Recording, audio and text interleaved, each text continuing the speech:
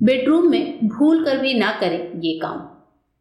Bedroom में हमेशा एक ही गद्दा होना चाहिए। एक कमरे में दो बेड और बेड पर दो गद्दे का होना भी पति पत्नी के रिश्तों के लिए सही नहीं होता है। बेड के नीचे जूते, चप्पल और दूसरी गैर ज़रूरी चीज़ें रखने की आदत आपके बेडरूम में नेगेटिव एनर्जी फैलाती है। बेडशीट और तकिए के कवर को दो से तीन दिनों पर बदलते रहें और हफ़्ते में एक दिन तकिए को धूप ज़रूर लगाएँ। ऐसा करने से जीवन में भी परिवर्तन होता रहेगा, जिससे ज़िंदगी में खुशियाँ बनी रहेंगी। कमरे के कोने में बिस्तर लगाने से बचें, क्योंकि यह सकारात्मक ऊर्जा को स्वतंत्र रूप से बहने से रोकता है।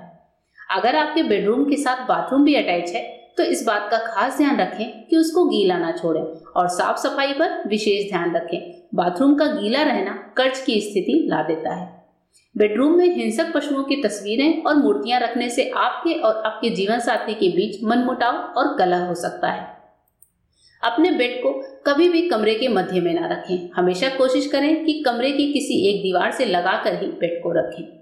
बेड का सिरहाना पूर्व या दक्षिण की ओर होना चाहिए। मास्टर बेडरूम में वास्तु के मुताबिक बेड प्लेसमेंट बहुत ज़रूरी है, क्योंकि ये परिवार वालों के स्वास्थ्य और नींद की गुणवत्ता को प्रभावित करता है।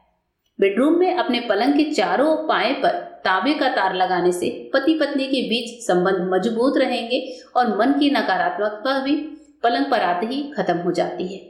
बेड के नीचे ना रखें कूड़ा और बेकार सामान। बेड के नीचे भूल कर भी कूड़ा या कोई बेकार सामान नहीं रखना चाहिए। बेड के नीचे निरंतर ऊर्जा घूमती रहती है, जिससे आपका शरीर संचालित होता रहता है। और बेकार का सामान रखने से नकारात्मक ऊर्जा भी आ जाती है, जिससे आपके जीवन में उसका स्तर बढ़ जाता है।